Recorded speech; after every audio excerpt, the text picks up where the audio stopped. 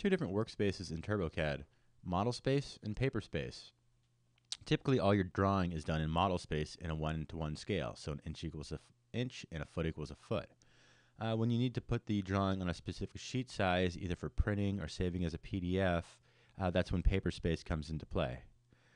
So uh, now I'm going to show you how to bring a drawing from model space into paper space. So the first thing we're going to do is bring up the views uh, palette. So I'm going to go to view, named views, named view.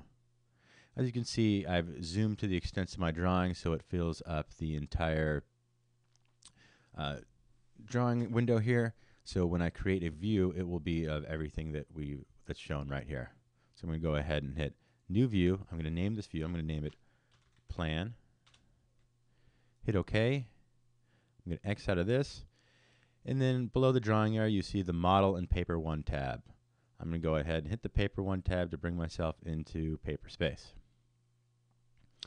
Now this paper space, I have already drawn a title block. Uh, by default, if you use a TurboCAD template, there will be a title block inserted.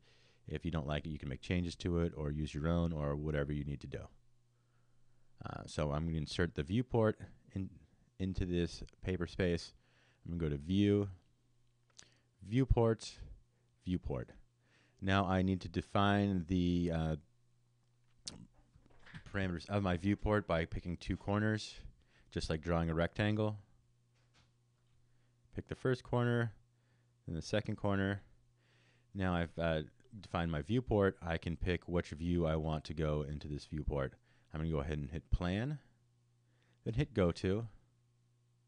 Then I'll go ahead and hit Close. Now that the viewport is inserted and the view is in the viewport, the view basically takes up the space of the entire viewport. It goes as big as it can. So I'm going to go ahead and scale it. So I'm going to select the viewport, go to Properties. Under Viewport Properties, I can fix the scale. I'm going to check the fixed box. I want an eighth of an inch equals a foot, so I'm going to choose 1 to 96. I'm going to go ahead and hit OK. Now also in Paperspace you can insert dimensions, uh, text, uh, any sort of notation. Uh, a lot of that stuff is typically done in Paperspace as well.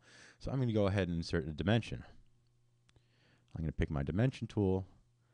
I'm going to go from the corner of this wall to the corner of this wall. You see now that I'm about to drop my dimension, it says, wait, wait a second, that's not the, the correct width here. It's, it says six and three quarter inches. But when I drop it, it gives the correct measurement of 54 feet. So let's try that on the other side. Pick one corner, then the other. It says two and a quarter inches. I drop it, 17 feet, six inches. And that's about it.